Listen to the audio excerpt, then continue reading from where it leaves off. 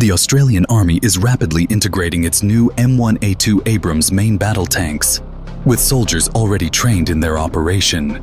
Australia will acquire 75 tanks, with 46 delivered from the US. These upgraded tanks offer enhanced lethality, protection, mobility, and communication, making them vital for strategic land operations.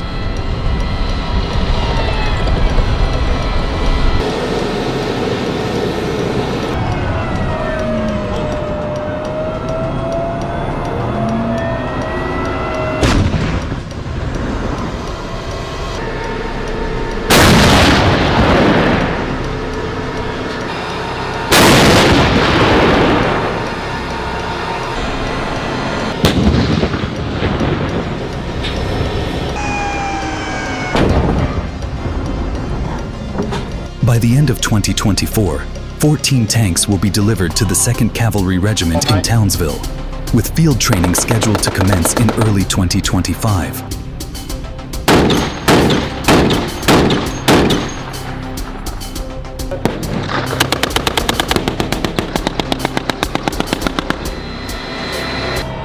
Right now.